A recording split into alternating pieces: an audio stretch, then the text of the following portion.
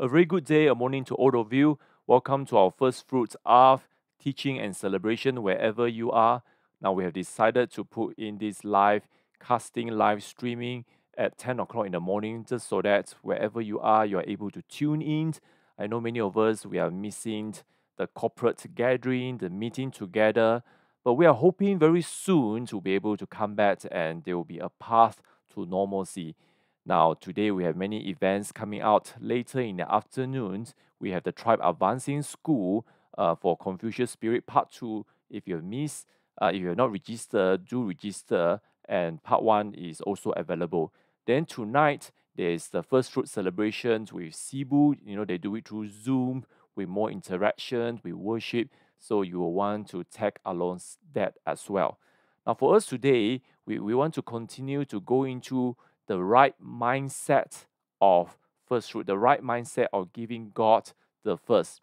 So for this month, I want to talk about prospering in the midst of great challenge because we are still going through a path of challenge here.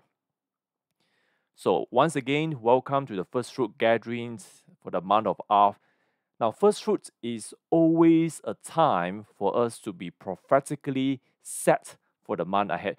That is the reason we do it right at the beginning of the month, so that everything we learned, our first worship, it will have the effect, it will help us to apply it throughout the month.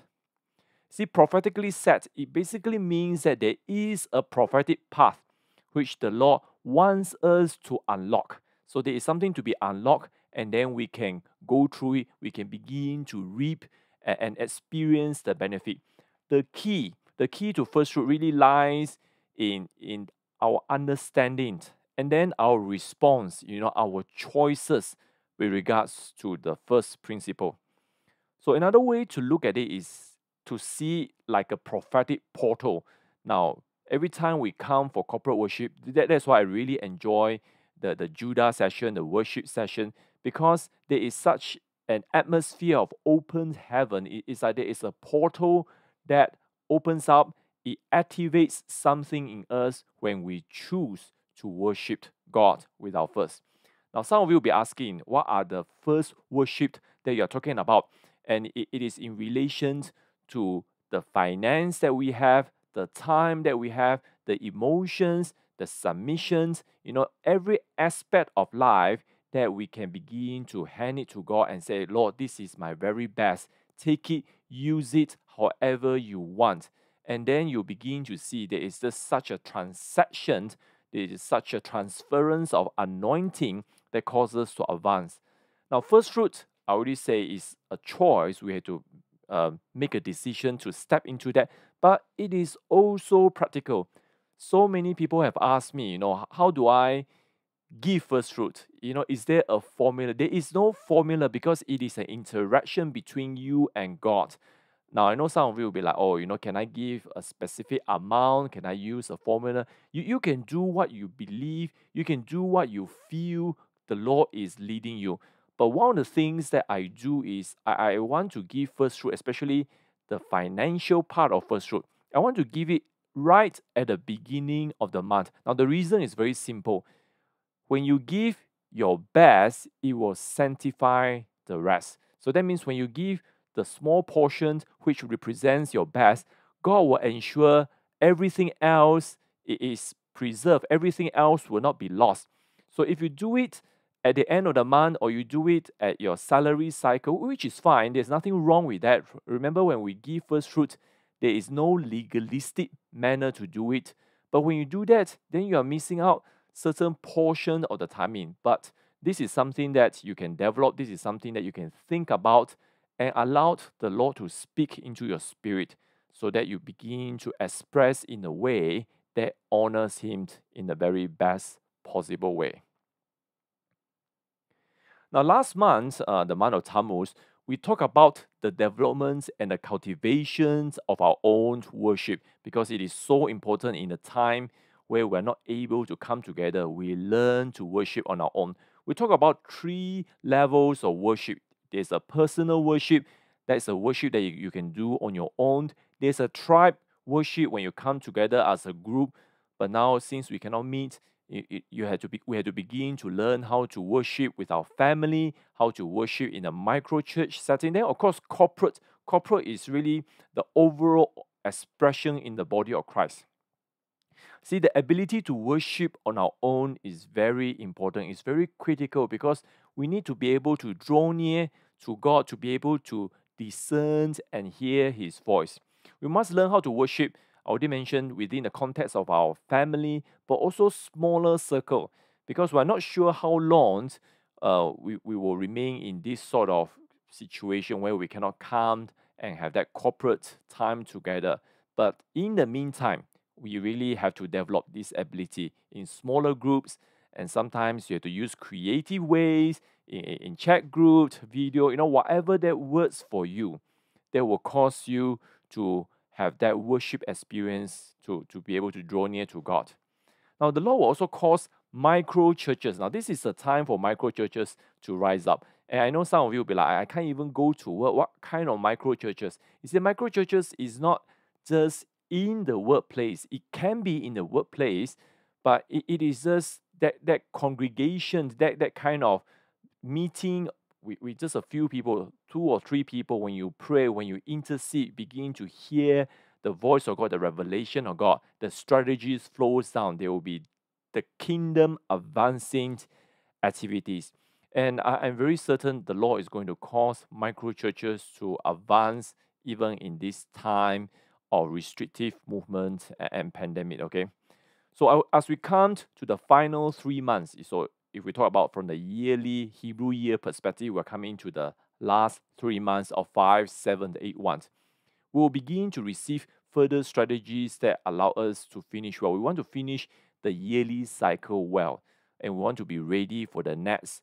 You know, we call it the, the, the Hebrew calendar, they call it the head of the year. You know, so the next year will be five, seven, eight, two where they will receive there is a prophetic revelation in terms of how we should be approaching the year. See, the whole point of prophetic is really to give us that framework, to give us that guidance at all times. We're able to draw into the, the voice of God. We're able to go into the throne room of God that allows us to have strategies to advance. So, so just a quick reminder: five, seven, eight, one. You know, from the yearly perspective, we're, we're drawing to the, the, to the last three months. But the year is called Pei Aleph, and you have seen this picture many, many times. It is a year of contrast, it's a year of contentions.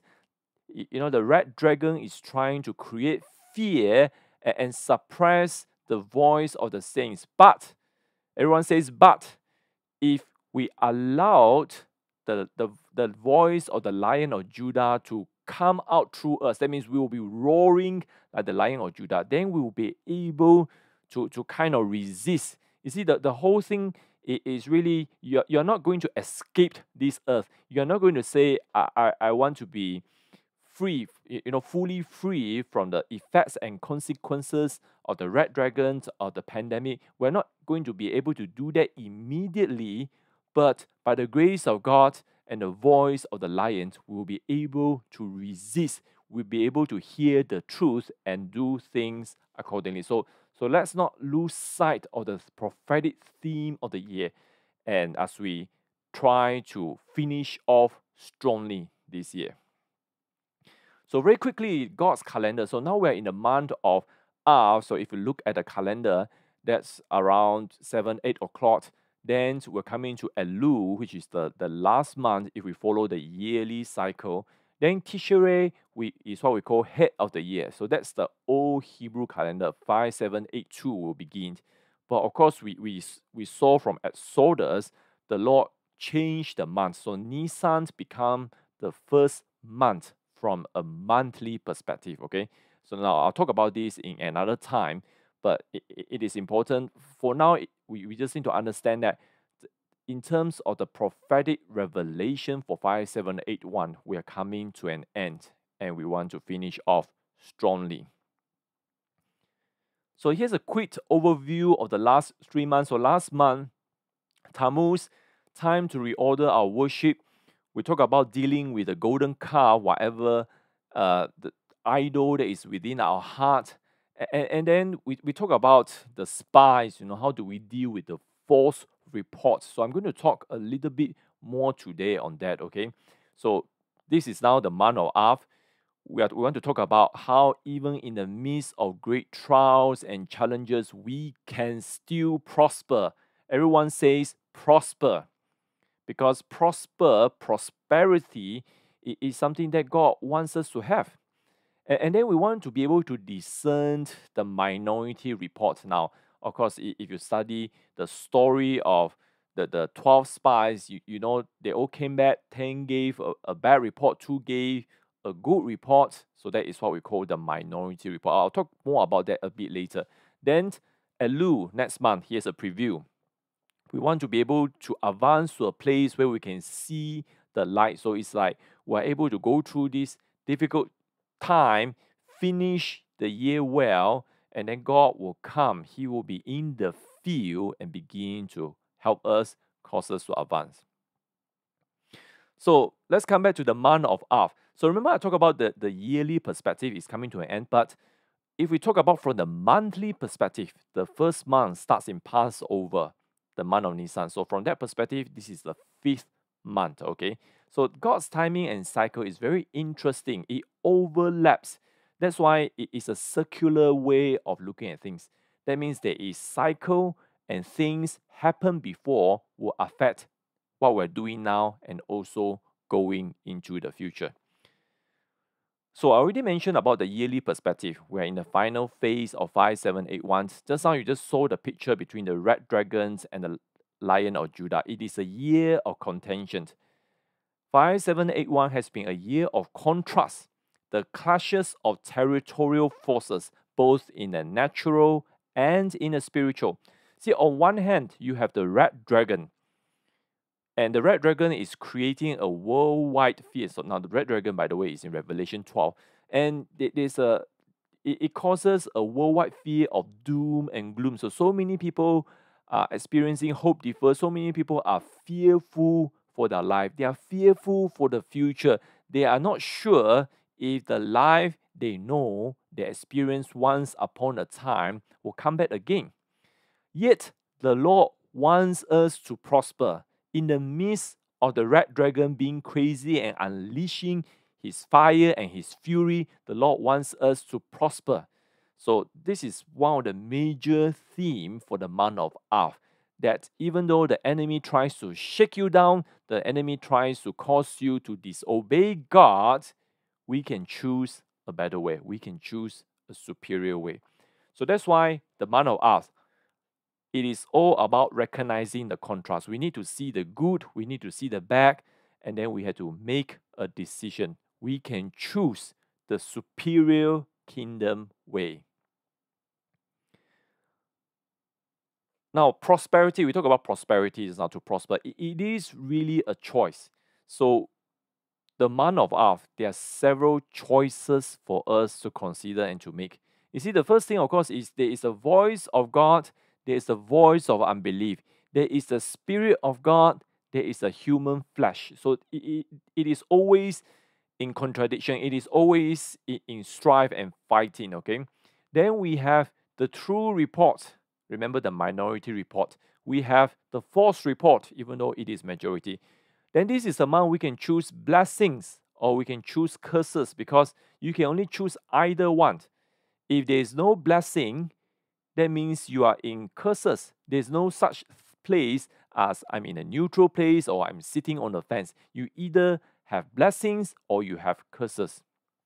So I already mentioned about the, the, the majority report versus the minority report. Now, I'm going to explain what I mean by groupthink. There is the kind of voice, is almost like a mind control spirit that begin to cause people to have a particular way of thinking that is not from God. We have world system versus kingdom expression. You see, the kingdom of God has freedom, it, it has joy, it has peace, you know, all the good things. But the world system it is like the Egyptian system, it's like the Pharaoh system, it is a slavery system. Okay. So our choices must be based on who God is. So see, at the end of the day, it comes down to what is your relationship with God. who do you know who God is? Do you have a relationship with God? And, and that's why we cannot be swayed by the false prophets out there, you know, who, who, uh, who will be saying certain things that now, now how do you tell if someone is really prophesying something that is false? Now, I'm not even talking about uh, you know prophesying as in proper prophesying, but you know, just you know, people out there just talking all kind of nonsense when it causes you to have fear for the future, when it causes you to doubt the goodness of God, that, that is really some of the hallmark for false prophets. Now, and we're not getting into there, but this is just to lay the context for this month. So in these three months, we talk about, you know, last month Tammuz to, to, to Av and then Elul. The Lord is causing, there, there, is, there will be an uprooting of systems because we have bloodline issues, we have certain things that we have done that causes us not to be able to advance. So in the midst of uh, getting through to, to hear the real voice of God, the law is also uprooting certain things so that we'll be free from the bondages. So there will be a lot of deliverance, there will be a lot of healing. If we allow God to do it, He will cause us to come to a place from a very narrow place to a wide open field in the month of Elul. See, many Christians fear the word prosperity. You know, I, I remember a few years ago, you know, prosperity, people just say, oh, prosperity gospel is very bad. You know, these days we don't hear so much of that. Now, this is due to some historical unbalanced teaching. So, so one of the worst teaching of uh, prosperity is what we call the name it, get it doctrine. You know, they say if you just say you want this and God will, will give you. You say, I, I, I want an island, God will give you an island. I want a jet, you get a jet. So, so it doesn't work like that. Faith doesn't work like that. It, it is not magic. It is not like you demand and you get it. But faith is based on relationship with God. Faith is knowing the heart of God. You see, but this doesn't mean there's no prosperity because the word of God is all about prospering. I mean, if you take prosperity out from the Bible, I'm not sure how much is left there. Because when the Lord created the garden, there's a boundary of garden. And from there, from the central place, Adam and Eve were able to prosper. So you see, God wanted us to prosper, but within a boundary. There has, we have to operate within that boundary. Otherwise, there will be no prosperity. You see, to prosper, it means to have blessings that allow one to fulfill his or her destiny. So here we begin to see that the prosperity, the blessing is so that you and I can fulfill our destiny. Not for anything else. It's not for enjoyment. It's not for you to receive things and you don't do anything. And it will happen within a time and season. You see, to prosper essentially means we have to, to overcome. So there is that barrier, there is that resistance, there is that warfare. If we overcome, then we can win. You see, prosperity is not something that is handed over to you just like that. You are not being spoon fed.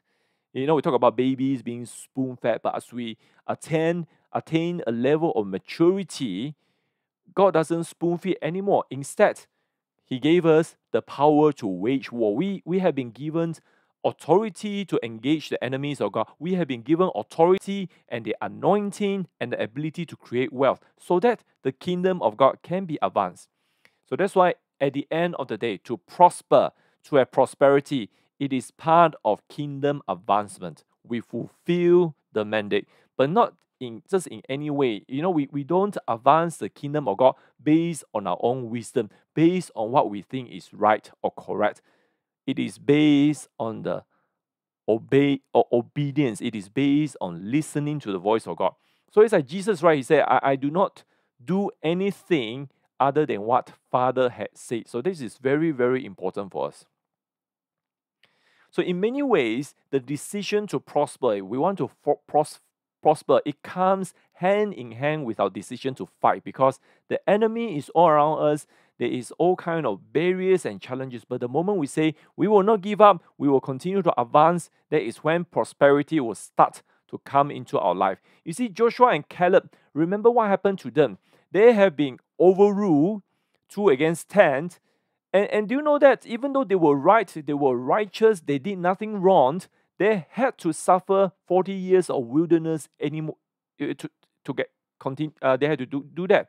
So it's like you know they didn't sulk, they didn't moan, and they didn't say, oh you know this is unfair, but they continue their fight. You know Caleb was saying that I, I kept my body uh, fit, I'm ready, you know I'm old, but I can still do it. So so that's the thing. Even in in 40 years, they kept preparing. They continue the fight. So when the opportunity came again, they were able to participate.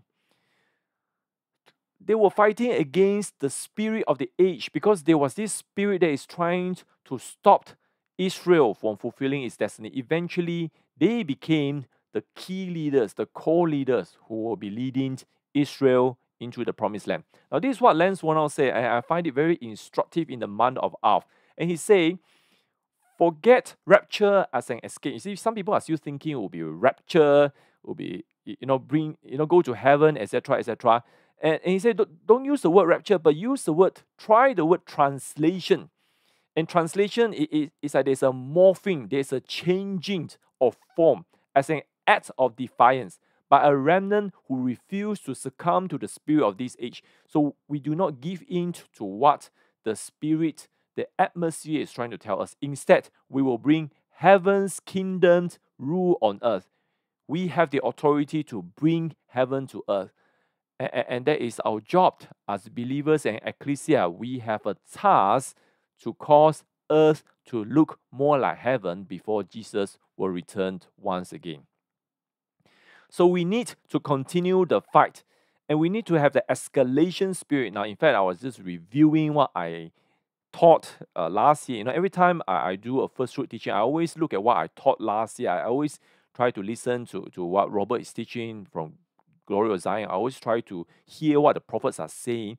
And, and so I was reviewing last year's teaching and I was talking about the escalation spirit. Now, I, I find that teaching still very useful. And you know, you can just do a search, try to find our uh, last year, 2000, 2020, and you know, I encourage you to review that teaching because it will be very helpful still. Now let's recall what happened in the month of Tammuz. Now we talked about it a little bit already. Now we, we know the month of Av was not a very good month historically for Israel. Many bad things happened, but it all started off when the spies came back and you know gave a, a terrible report but they were sent out the month before in the month of Tammuz, but they finally returned the following month, which is now the month of Av. So when we look at the despairs, all the bad things, I'm not going to go into it today. You can read it, you know, in time to advance. We have talked about it in previous uh, teaching before, but the foundation, or, or maybe a, a better word, is, we're talking about the root issue. The root of all the problems in Av comes from the previous month, the month of Tammuz. See, the, the 10 spies who gave the bad report, bad confession, whatever you want to call it, they reported what they have seen accurately in the natural. So they were not wrong in the natural. They say, oh, these people, they are strong, they are mighty, their walls are thick, it's fortified cities or whatever, blah, blah, blah. And it, it is correct it is 100% correct in the natural, but in the eyes of God, that is a false report. That is a terrible confession. It, it is something that shows their true heart. You see, they had the natural sight. They can see things, they can analyze it. So that's the danger when we become too natural. We, we don't put on the spiritual lenses because they forego all the spiritual discernment. And worse, they forego the faith. Everything they reported is 100% accurate factually, but it shows a complete lack of faith in God's ability to bring them through. So, so that was a, a major issue. What happened was that they succumbed, they gave in to the spirit of the age. That, that's why this year, the year of contrast and contention, 5781, the red dragon versus the, the, the sound of the Lion of Judah. It is so important with the pandemic, with the lockdown, with all the economic, social challenges that we're facing. So many people are losing the perspective or the voice of God. They're giving in to fear. And they're giving in to the spirit of the age, the spirit that is surrounding, that is not wanting the believers and the ecclesia to prosper. So this is something that we have to be very sensitive to. So the ten spies, they succumbed to that spirit, but also, of course, the giants of the land, the Nephilims, or all these, you know, it, all these combined together to create that kind of fear. And eventually it caused them to give a false confession. And this false confession did not just condemn them, did not just condemn their own tribes, but it condemned the entire nation into 40 years of wilderness. It caused an entire generation, a few million of them, to totally miss out on their destiny. That, that's very serious. You know, I, I, I don't even know. Uh, you know, we, we don't know what will happen to them. You know, are they safe or not? Things like that. You, you know, if, if this kind of things happens, how are you going to give an account to God? So we need to remember that the majority is not always right. In fact, from a biblical perspective, the majority is often wrong. You see, throughout the history of the church, throughout the history of the Bible, God has always chosen to work with smaller groups. He, he chose to work with the minority, with what we call the remnant. For example, Abram, he was the first to cross over. He was called the, the Hebrew. You know, in fact, the, the meaning of Hebrew is the one who crosses over. And he was one of the first to have a true everlasting covenant with God. Then his grandson Jacob, you know, and from a family, just a family, he will establish a nation. God will cause his family to become a nation that will be a blessing to the entire earth. That's, that's Jacob. Then when we look at the early church in New Testament, God chose 12 disciples. And, and this, when you look at them, you're like, the future of the church are in these people. And, and, and you, you kind of get a bit worried. But Jesus caused them to be the foundations. You know, Ephesians 2.20 talk about the foundations of the churches are apostle and prophets. And they will become ecclesia. It will be a force that, that will shape Roman Empire eventually it will shape Western civilizations and even the entire world forever. Then, when we look at the historical restoration of truth, you know, we talk about uh, church history, the last 500 years, we, we, we talk about people like Martin Luther, we talk about John Wesley. God always starts with just one person. One person, when they are praying, and all of a sudden they get a revelation, and, and God put in the seed of reformation inside them, and then it becomes a restoration of truth mo- moment. So we need to understand that God always and often choose to use the minority, the remnant. And, and, and that's why this is a season where we have to be very sensitive and, and begin to discern what is the minority report out there that God wants me to, to discern. So that's why God is now causing us to begin to pay more attention, be more sensitive, be more spiritually sensitive to what I call minority report. And, and this is in relation to our discernment, to our sensing. Now, let me just give you a little bit of context, okay? Because we, we have to look at what's happening around the world in order to understand what God is doing. See, in relation to the pandemic, I think pandemic is a is a good example. Everyone is going through that, have some form of experience. Now, in relation to this, we have been told that certain things must be done to end it. So, right from the beginning, there is this discussion, there is this proposition, whatever you want to call it, and it's like, oh, we have to do this. So, first they say flattened the curve, you know, so that our hospital system can can cope. And then they start to come out with this term herd immunity. And, and you all should just begin to do some research because herd immunity is something, yeah, it has been done before, but it, it will take 40 years, it will take 50 years. You know, we talk about things like polio, but to say that you need herd immunity before we can come back to being normal, that, that's really a bit crazy. And, and that's why now you're seeing nations, even like Singapore and, and United Kingdom, they are walking away from this concept.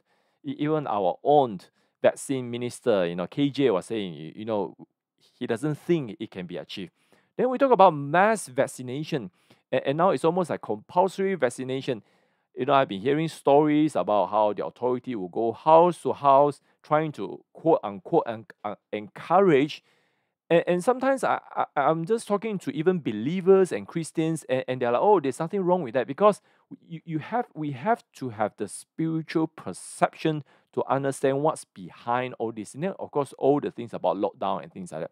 Now, I, I'm not here to talk very extensively here uh, but if you're interested in these sort of discussions, uh, governmental, political discussion, in fact, I, I, I do have a podcast called, called Simon Says. You can just uh, type it in Spotify, Apple Podcast, or whatever, and, and you get And we'll have, a, it's a bit longish, you know, 25, 30 minutes kind of, you know, monologue discussion.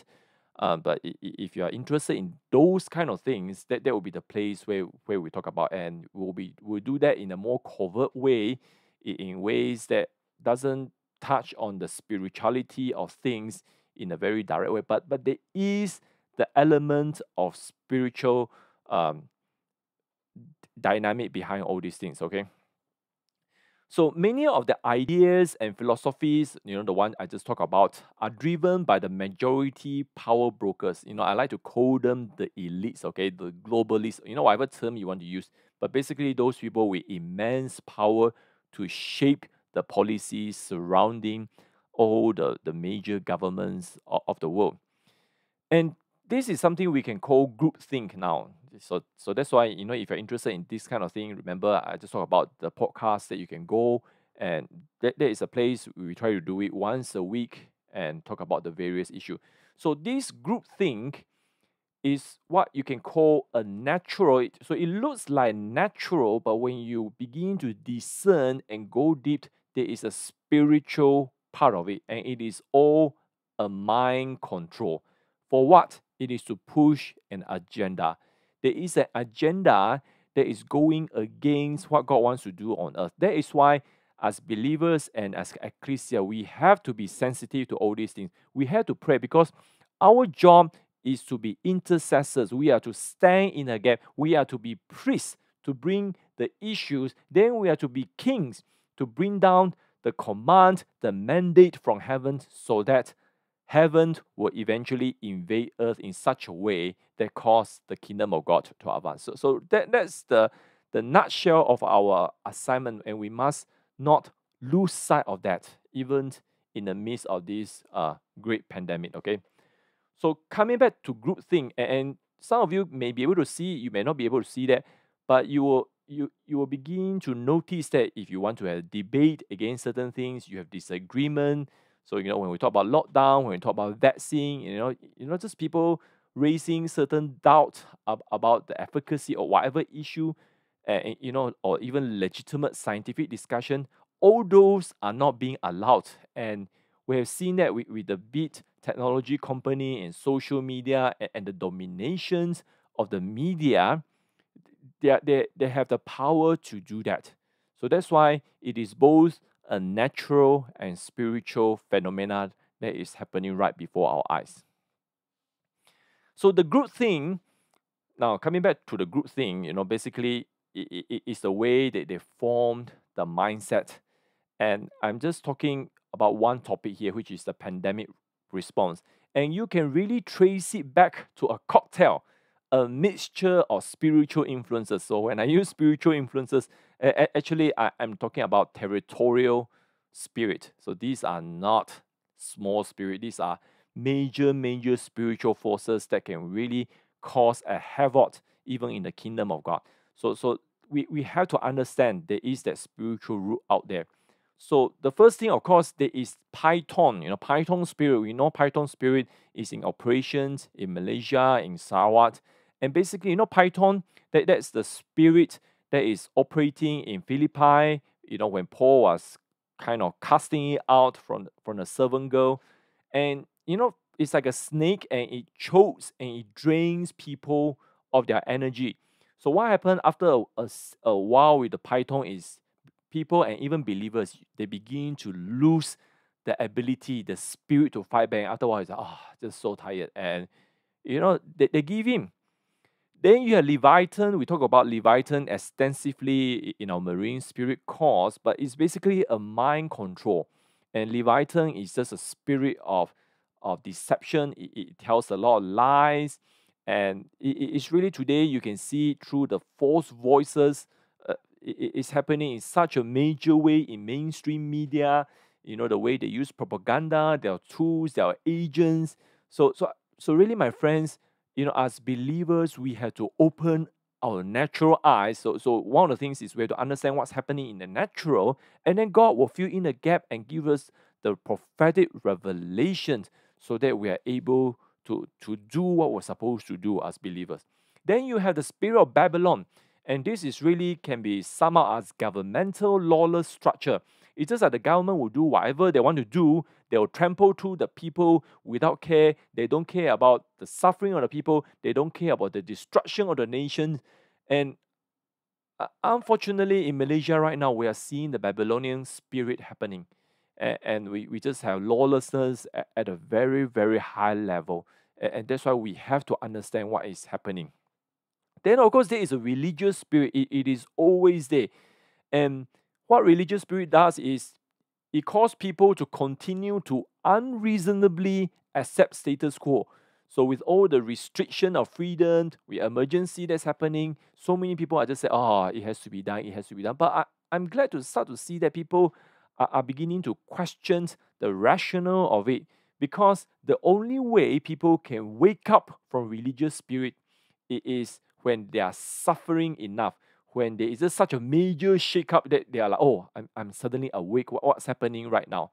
So you, you can see the religious spirit is causing a lot of people in slumber. You can see a lot of christians are stuck in old wineskin not able to see the new things god is doing. So all these are the cocktail, the mixtures of, of the forces behind the groupthink, the majority report that I've been talking about so far. So the groupthink essentially represents the majority report. And the way they do it will be it will present something that appeals to the natural senses. It will do something that speaks to anxieties, to fear. That, that's why do you realize that the spirit of fear was the first thing that really come out and, and there's just all kind of reporting about how you can get COVID and things like that. And, and most are just totally nonsense. But the, the effect remains even when there are many scientific reports and experiments that disprove this allegation that the first negative report remains because that's how fear works. It sticks with the people. It gets stuck in the mind of the people unless they are free from that. So this majority report, they seek to to form dominant mindset. So they want people to behave in a way because that is the way you control people. That is the way you cause people to become slaves. It starts with the mind. You see, slavery is not really about imprisonment. It's not like you are being confined to places. That's why for Israel, even though they were in Egypt for 300 plus almost 400 years, the prison was not really the physical boundary. It's not like they, they were stuck in Goshen, but even when they came out, they still couldn't get Egypt out from their mind because it starts with the mind. This is how powerful this groupthink and majority report is all about. Now, interestingly, now I'm talking about this, and some of you will be like, oh, you know, I, I know the movie. So if you have seen the movie Minority Report, you can see a similar thing. In fact, it's very interesting that I've been talking about Minority Report in my podcast and today. And all of a sudden, I was just checking, hey, the movie is suddenly available to be watched on Netflix in Malaysia. You know, it has not been available, and just very interesting. I I think it is a movie of the season. If you have not seen it before, I really want to encourage you to see it because it, it, it's just it. I mean, it's good entertainment. It's Tom Cruise, it's Spielberg, and things like that. But there is all the other stuff which really begins to to help us to navigate through some of the issues here. So two things from the movie that really jump out. The first thing, now I'm not going to say too much that will spoil the movie, okay? So so if you don't like to be spoiled of any movie, you know, just I don't know, turn away for one minute or so. But in the movie, the first thing is there is a control system. And you know, the whole premise of the movie is they have a system to predict the future. So you know they have a they have three beings. You know they are like sort of like mutants. Uh, you know, and they have a what they call they, are called precog, you know, precognition. They are able to predict the future through certain things they see. So based on that, they go and round, up people and arrest people and imprison them based on the possibility of committing the future. So it is a pretty scary thing. So that's why I say it's based on pseudo and questionable data because they never uh, kind of let people know how the precognition works. Okay. Now the second part, of course, and this is where we come into the title of the movie Minority Report. So remember, I mentioned you had the three beings, and they usually give re- report. So usually the three of them will all agree, or oh, this person has done that, this person has done this. But on rare occasions, one of them will give a dissent, will disagree with the other two. So, so this is what we call there is a dissent and disagreement within the data structure, and that's why it, it becomes minority report. So in the movie, it, you know, it, it's such a rare thing, but when it happened, the investigators are trying to find out what really went wrong. Okay, so that, that is how we get the term minority report. So what do we make of the minority report? Now, I've, I've been talking a lot about the majority report, the, the demonic cocktail and things like that. But what about the minority report? Now, we need to remember that just because you're in the minority doesn't mean you are always right. And sometimes people can be imagining things. You're, you are, you know, this happens to, to all of us, okay? But I, I want to talk more in, in the perspective of what the Lord is doing all around the world. You see, you see, the Lord, and it is the pattern of God. He will use the weak to shame the strong. I mean, He has always done it before. See, in 1 Corinthians 1 27, but God has chosen the foolish things of the world to shame the wise. And then we think about Israel.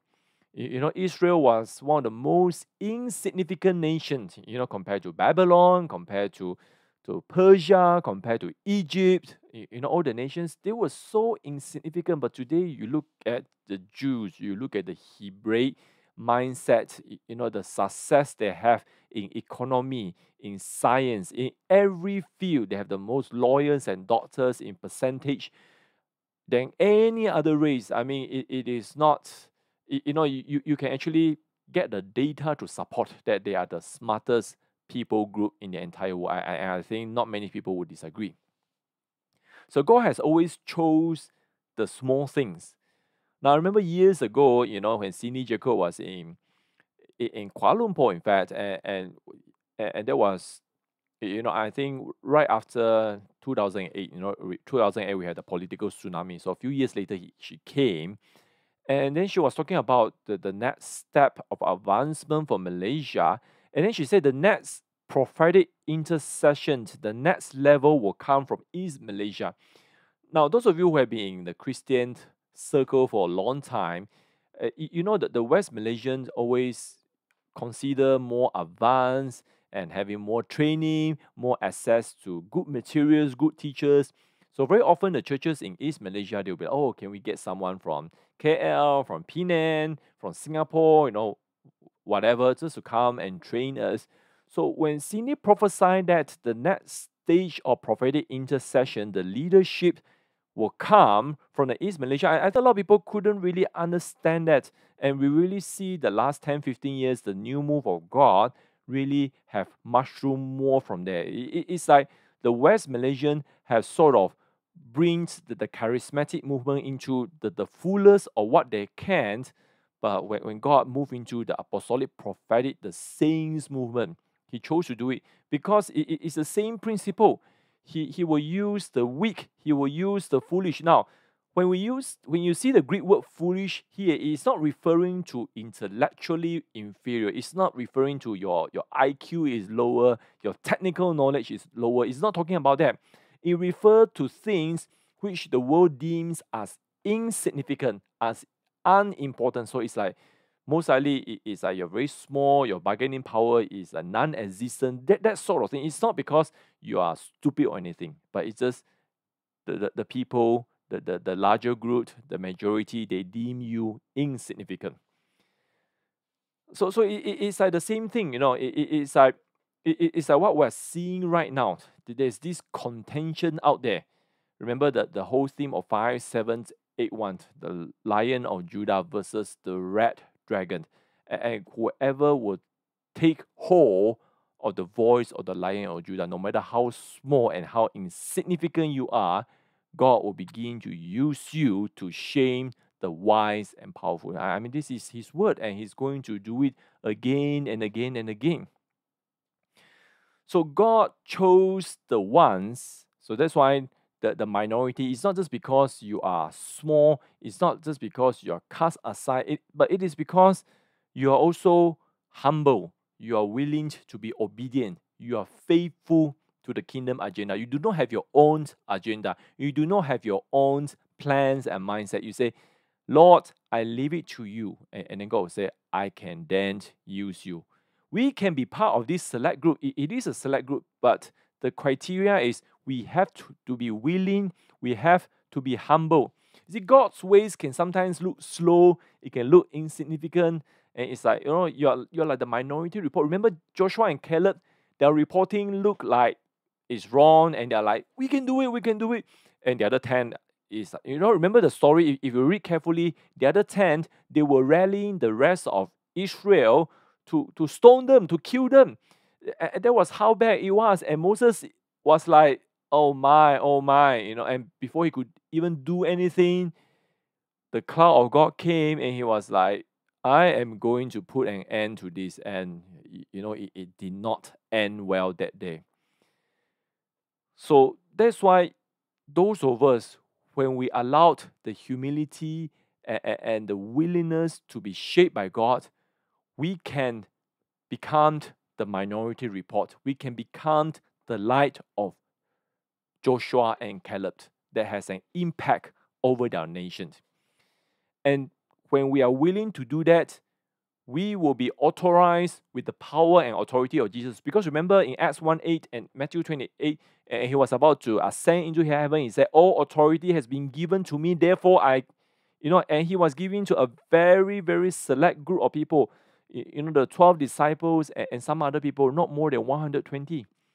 So it's a very tiny, tiny. In fact, the Roman authority initially they called this a minor Jewish sect. But 100, 200 years later, historian was saying Christians are everywhere. You know, at, at that time, it estimated there are 500,000 Christians in Ephesus alone. It's just an amazing build out. So the minority report will be given the authorization and they will become the true sons of God. Remember Psalms 115 16 says, God will give the earth, the earth shall be inherited by the sons of man, by, by those that God has apportioned them to be. So here's a quick uh, comparison between the majority report and the minority report. Okay, so with the majority report, the, the path is wide. You can believe what you want. So today that's happening and people read newspaper, they consume whatever things in social media, they believe what they want to believe. There is freedom to do that, but that is not the way of God because the way of God is a minority report, it's a narrow path, it is based on truth and revelation of God. Now, with the majority report, it creates groupthink, and that's based on the lies of Satan. I already show you all the cocktail of the territorial spirit. But with the minority report, we, we present truth that is based on accurate spiritual perception because we see in the natural, we have to learn how to perceive in the spiritual. Basically, that means to be able to see from the perspective of God. And, and that's all there is in terms of spiritual perspective. When we see things from God's perspective, we all of a sudden we get a different understanding. The majority report focused overly on the natural. So remember the 10 spies, they reported accurately, 100% accurate in terms of the natural, but it speaks to the comfort of the emotions and soul because they understood people are fearful, people are tired, people are weary, they are not looking forward to war. They, you know, so they're saying, oh, it's very difficult. The walls are fortified, you know, just giving all kind of nonsense and and they're like, okay, let's give up, let's give up, let's give up prosperity. But the minority report, we are not throwing away our natural perception. We, we consider both natural and spiritual. That, that's the difference. The difference is the end part. So when we see the natural it's difficult, right? I, I mean, it is difficult. How, how many times have you, you, you know, you, you are in a discussion, you are thinking about taking a major decision. Have you spoken to a prophet and to an authority structure in your life? And they will say, hmm, it is difficult. You know, uh, I think about, you know, Elisha was asking Elijah for the double anointing, and he was like, hmm, it's difficult. In the natural, it's difficult, but in the in the spiritual, if you will allow yourself to rise above the limitation of the natural, then there is a path. Now, with the majority report, it, it tends to follow the ways of the world, the pride in human strength, and that's why so many things, when you think about the groupthink and, what they are saying, is based on they say, oh, this is a science, we are the elite group, and things like that. But I am really glad to report that more and more of these people are being exposed. They're exposed with fake data, they're exposed with a hidden agenda, they're exposed with conflict of interest. So there's a lot of pride there, but at the end of the day, the pride will bring them out. With the minority report, it, it's like this the minority gained, the remnant, the ways rejected by the world. So the, the world is saying this is not the way to do it, but God is going to use the ways rejected by the majority and it will be used to humble them. Finally, those people who embrace the majority report, they because it appeals to their soul, it appeals to their emotions, they are easily manipulated by the fear and the red dragon. That, that's what's happening right now, right? I mean, I mean, the last six months, one year, I, I've just seen tremendous amount of fear, even among believers. I, I mean, if you're not a believer and, and you get fearful, I, I think it's normal. But for believers to lose hope, to say that there's no way out, that, that's really giving in to the spirit of fear, giving in to red dragon. With the minority report, we are going to accept, embrace the lion of Judah. That's why, in terms of the yearly perspective, remember the last three months, Tammuz, Av, and Elul, we want to end really, really strong well. Okay, I'm going to wrap up already in, the, in just a couple of slides to go. Just going back again, let, let's talk about the original purpose, the original redemptive blessing of Av. It, it is supposed to be a month of great opportunity.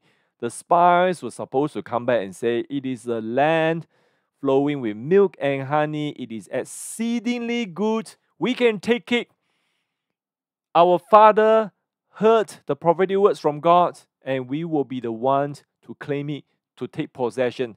It was supposed to be a great month. It was supposed to be a time that embraced the true report of the promised land. It is true. After 400 years, it is true. They were supposed to enter in and take possession with all the celebration and glory. But in the same way, you know, remember in Genesis 4, sin enter into the world, Genesis 3, Genesis 4, the promise, this is the promise to Abraham, the promise that his descendants would, would, would possess the promised land. It has been perverted. The promise was for a new promised land, for cities they do not have to build, for all the things, for victories. So all those are now perverted.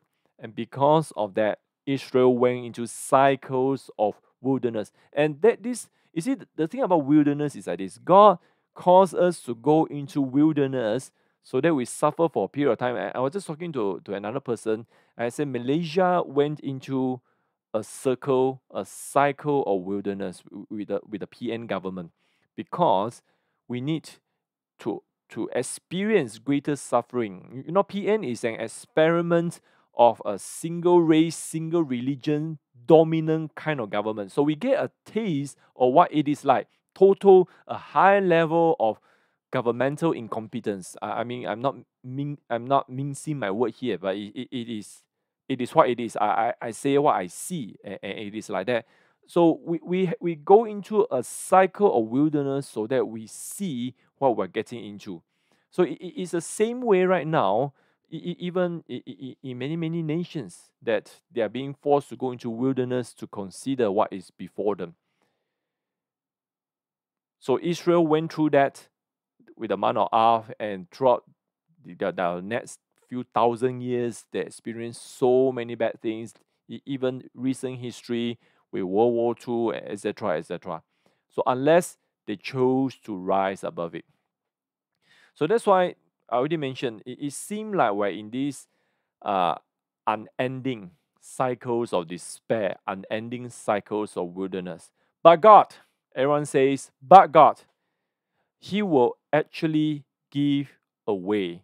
And is this way? It is a way for us to rise. Now, of, of course, He can just say, oh, I, I pluck you up from, from the water or things like that. But more often, He'll be like, this is the path I need you to rise up yourself. I need you to rise above the noise, the fear, the fire of the red dragon. So that's why we need to learn to rise up above the noises and fear in this season. And, and one of the things is we need to learn to shut down the voices that promotes fear fear is just such a dangerous thing. You know, we, we have to just put a stop. And if you're in a circle, you have friends, you have people that keep on talking about things that doesn't encourage you, it, it is time for you to disconnect with them. I, I know some of you will be thinking, oh, it's so harsh, don't be so serious. But you, you have to ask yourself, I, I, I don't know what kind of condition you are in. You know, are you being influenced by all the negativity? But we have to learn to shut it down. We have to learn to shut down the restlessness in the land. That means all the news, all the rumbling, all the things that cause just the feeling of not being settled, the feeling of dis- disturbance on the land. And, and then, of course, coming back to what we're doing today, first fruit worship, we have to embrace first fruit worship like never before. And, and really, that's the key because it opens the portal. It allows us to see God. It allows us to hear God in, in ways we never seen before. We need to truly understand what it means to give our very best in, in whatever area. You know, all of us struggle in different areas of our first fruit. But when we ask God, and He will give a ratification, He will give a way for us to, to kind of fix out the messes that we're in. So as we press in, and this is what is going to happen, I believe. The Lord will cause our voice to be a minority report. And it's like some of you will be like, oh, but I want to be the majority report. No, you know, and, and you know, when I was preparing this, all of a sudden, now I, I knew this before, but it, it has never been highlighted like that before. When you look at Old Testaments, even New Testament prophets like John the Baptist, like Apostle Paul, the, the disciples, they were always the minority. Do you realize that? The one who wants to speak the truth is always in the minority because the minority report is a truthful, it's a piercing voice. It's something which the kings of the land do not want to hear. It is the it is the voice that the power brokers they do not want to hear. But it is a voice to the land as mandated by heaven. So let me just finish off by sum, summing out what the month of Av is all about. It is all about choosing the ways of God. There are so many options for us. We have to choose to give up fear. We have to choose to press in. We have to choose not to, to be entangled into all the different spirit, the groupthink, the majority report. But when we choose the right thing, then we will be in a place it will cause us to be in the place where we can begin to truly prosper. So that's all I have for today, and you know I, am glad that you can tune in this morning with us. So now, if, you miss this, you can, uh, or if you miss a portion of this, this teaching is always available for replay. Now, just a reminder again, do not forget the the Tribe Advancing School we have this afternoon, and tonight you can join the, the Cebu uh, their first fruit celebration on Zoom, which will be a blast, I'm sure. So that's it for now. Bye bye, and God bless.